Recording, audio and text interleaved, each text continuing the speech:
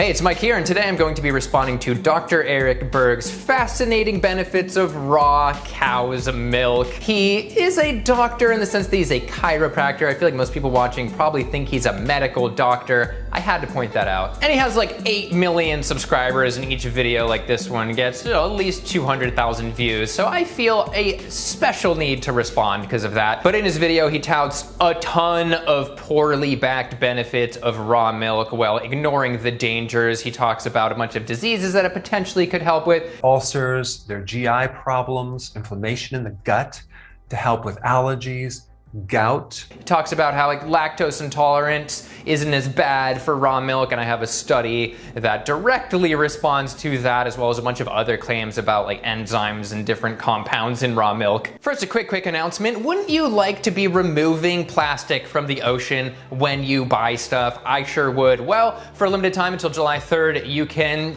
Make an order with Vivo Life, and for every order, they will remove a kilogram of ocean plastic. Good on you guys. And to supercharge the ocean cleanup, they're also offering 15% off all orders and 15% off your first subscription in case you want to get supplements recurring and all that good stuff. So link below automatically applies to the discount. Moving on. All right, now into the raw milk debate. First, I just need to mention, you know, pasteurization is a process where you're heating milk to 145 degrees Fahrenheit for 30 minutes. And that is what's being criticized here. But I am not going to be defending any cow's milk products. I have a ton of videos on why I think they're not healthy and we'll touch a little bit on the end. Because at some points it seems like I'm defending pasteurized milk. I'm not. Anyway, here's Eric Berg with his classic whiteboard.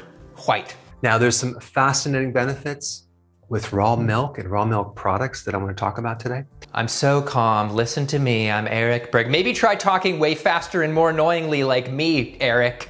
Seriously, I think he's employing some subtle ASMR tactics, kind of hypnotizing people like, mmm, dairy fat is so good. I should start an ASMR channel. Ask someone what is the most perfect food for an infant? Um, I would imagine they would say breast milk, right? So he does rant about human breast milk being good. I think we all agree with that, but it's sort of framing for why raw milk could be good as well. Anyway, here he is next. So if breast milk is so good, why is cow's milk or goat's milk so bad? That's what I want to discuss. Well, I think it really has to do with the quality of milk, okay? Pasteurization, Maybe because it's meant for baby bovines who grow to 600 pounds during the 10 months in which they are breastfed. Humans, on the other hand, slowest growing mammal on Earth in terms of getting to maturity. Interesting stuff. And major ew looking at those hands milking that cow. That just seems so wrong on so many levels. I feel like I'm gonna need to have some Vivo Life greens just in order to deal with the oxidative stress of looking at that. Oh, love it so much better than other greens. And it's a multi-nutrient. Anyway, moving on. It was interesting that he sort of admitted that cow's milk is bad to some degree. I don't know if that was sort of just an ironic statement. I'm not saying that there wasn't outbreaks of certain uh, diseases like TB and things long ago due to sanitation. He touches on infectious diseases, and it's completely lacking in terms of the warnings that should be given with regard to raw milk. Principally, the thing that he fails to mention is that we are still having raw milk outbreaks, and we've had an increase in pretty recent years from people deciding they want to drink raw milk to be healthier. But if you have a healthy environment for that cow and that cow is healthy, then what's really bad with milk? First thing is pasteurization. So you now want to bet on every cow in the supply chain happening to be healthy. And you can be healthy and still get a little infection here or there, or the milk can become contaminated after and from a perfect cow. And he goes on to present some fancy enzymes and words that we'll get to in a second, but some fancy words that he does not mention are the pathogens often present in raw milk from the CDC. Here is a list, and this includes Campylobacter and Salmonella, which are our leading killing foodborne illnesses. Well, you might want to say, we want to sterilize the milk to make it really healthy, to get rid of all the bacteria in this milk, this very unhealthy, pathogenic uh, substance.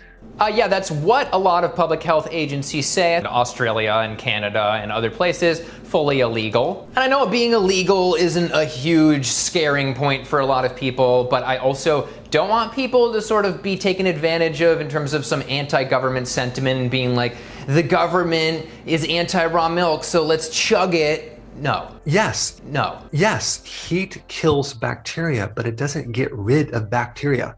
When you're drinking pasteurized milk, you're drinking all the dead bacteria that's in it. But it still kills most of that bacteria, which can infect and kill you. I mean, imagine it's a zombie apocalypse. You have two roads you can run down to escape the city. One has like a thousand living zombies on it. I guess they're dead, but they're still moving. And then the other one just got like air support and all the zombies are killed pretty much. Which one are you gonna wanna go down? You're gonna wanna go down the one where the zombies are dead Thankfully, you can just bypass this whole scenario and drink plant milk.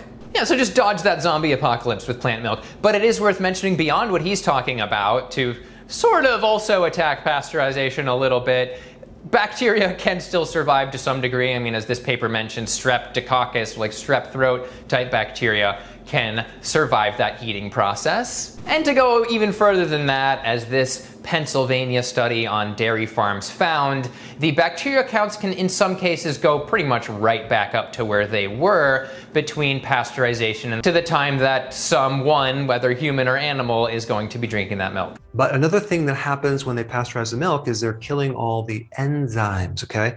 Uh, that is wrong. They're not killing all of the enzymes. For example, protease can survive, and that is what leads to milk spoiling in many cases. And as this study found, protease activity can, in some cases, go up during heating, but during pasteurization, heating levels, we're talking about only just a 20% total drop, not all enzymes by any means. And I'm talking about proteins that can help someone's immune system, like, for example, lactoperoxidase, which is an antibacterial enzyme.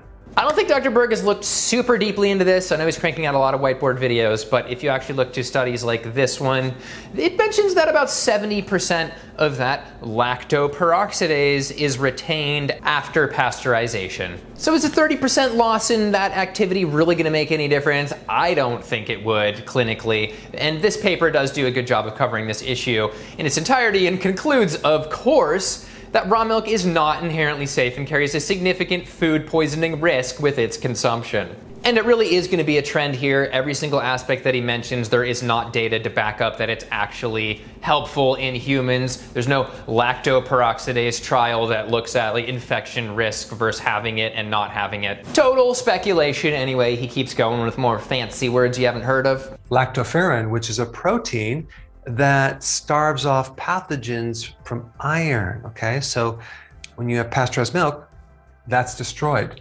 The antibodies in milk are also destroyed. That is an immune benefit that you won't have. So, if raw milk is good for your immune system, we would see less infections in people consuming raw milk. Nope, from the CDC, the risk of infection from raw milk causes about 840 times the number of infections that pasteurized milk does. Doesn't sound good for people's immune systems. No, there have been a few deaths in this area, and I don't think that any of those antibodies or lactoferrin were helping the situation. There are certain bacteria that make the enzyme to get rid of lactose, okay? And so those of us that have lactose intolerance, like myself, need lactase, which is the enzyme that breaks down lactose. And in raw milk, there's that enzyme. This is probably the most brazenly debunkable claim the claim that lactase in this raw milk might help people who are lactose intolerant. Well, we can look to this randomized control trial by Stanford University researchers. And the conclusion, well, I don't think I'd want to be anywhere near him when he's consuming these lactose based products because raw milk does not help. Let's go now to the fart chart and just as many farts or flatulence with raw milk as pasteurized milk. They also did hydrogen breath tests, and so the higher the amount of hydrogen that is coming out, the worse the lactose response is. And from this chart, you can see that it definitely peaked even higher in the raw group, so maybe that light cooking helps. Yeah, the malabsorption was worse. Finally, and very interestingly, this study was partially supported by the Weston A. Price Foundation, which pushes raw milk as well as a bunch of animal fat, and I have an entire video on that I'll link below. But thankfully, these researchers had the integrity to post the results even though they were against the person's funding agenda. Homogenation is about breaking up the fat into small little particles that now you lose the function of that fatty acid. He then talks about how homogenization of milk messes with like the little fatty acid profiles. Well, guess what, Mr. Bergalowski? That's his real name before he got a simple stage name to appeal to the masses. I'm totally joking. You're still gonna have the same amount of saturated fat in either milk that raises LDL or bad cholesterol, which is causally linked to atherosclerosis, as the European Society of Cardiology mentions. And I don't know about you, but my body craves the cream on raw milk. In fact, I could probably live on that cream. It's so delicious and it's so good for you. Well, people die on it, so maybe take it easy there. Maybe don't go that hard. It has something called the Wulzen factor. What is the Wulzen factor? That's an anti stiffness factor. And I'm not going to give you the long chemical name, but it's good for rheumatoid arthritis and stiffness because it's anti-inflammatory. And I'm just going to go ahead and capture this point for team plant because ironically, the Wulzen factor is an outdated term for stigmasterol, a compound from plants. From the study, the main dietary sources were coffee, vegetables, and plant oils. You know, maybe that's because people are pasteurizing their milk. Well, the closest study I could find on raw dairy was on raw goat butter which technically it should also be in if it's going to be in cow's milk, but they couldn't even detect it until they added vegetable fat. Total BS. Plants are the best source. On the contrary, there are people with a certain genetic mutation that can make them prone to bacteria in cow's milk triggering rheumatoid arthritis from some 2018 research. Interesting stuff. Yeah, the head researcher says, quote, we believe that individuals born with this genetic mutation and who are later exposed to MAP, which is the trigger they're talking about, through consuming contaminated milk or meat from infected cattle are at a higher risk of developing rheumatoid arthritis. But get this, then he says he doesn't even consume raw milk directly. He just eats like cheese and other raw milk products. Now, I do want to say that I don't drink raw milk. I actually consume raw milk products that are fermented, okay?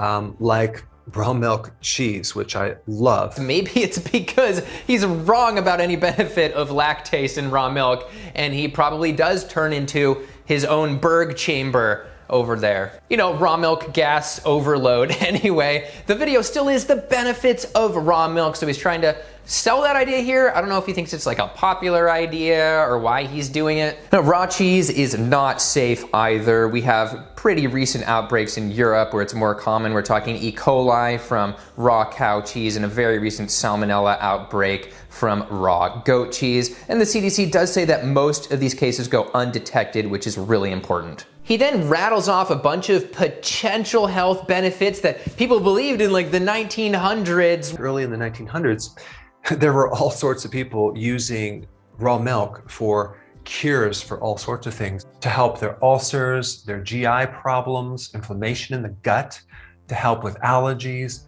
gout, uh, gum disease, and even asthma. He sort of suggests that raw milk could help with everything from like ulcers to gout, and his links in the description are two studies that don't really have anything to do with anything. And if you look at these benefits he lists in the description, no studies next to them at all. This is just not a good way to go about spreading health information. Just very little science behind it. Just because you have some names of some enzymes in there doesn't mean that it's good science. He finishes off by sharing Weston A. Price Foundation's How to Get Infected map. I'm kidding, it's the raw milk access map of like how to become part of a cow share and stuff.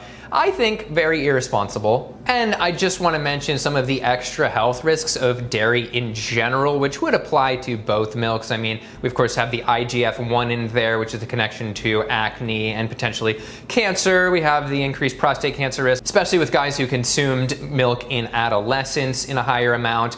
We have the molecular mimicry slash autoimmune risk of these queso proteins reacting with MS patients and type 1 diabetes. And don't get me started on casomorphins and on and on. I think you're getting the picture because in the end, these benefits of raw milk are far outweighed by the potential, you know, 840 times risk of infection. You know, he's once again making spurious, you know, really easy to, to disprove pro animal fat animal product claims that I don't know if it's just because he likes to eat these products, he believes it, or he knows that people watch these videos. No, raw milk does not help your immune system. There's no good data for that. It's, it's kind of like licking a door handle or something. It's not going to be beneficial for your immune system. And then the lactose idea that he's putting out there, there's absolutely no benefit, demonstrably false. It's bad for people with lactose intolerance just as much. And finally, once again, dairy is the main source of saturated fat in the US diet, and heart disease is our number one killer. So